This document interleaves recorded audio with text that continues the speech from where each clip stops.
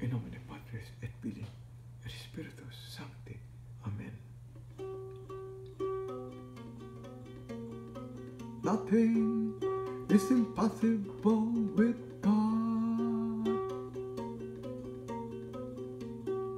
Jesus, Mary, and Joseph save our bodies, souls, and spirit, created into the image and likeness of God through the intercession of Saint Augustine of Hippo.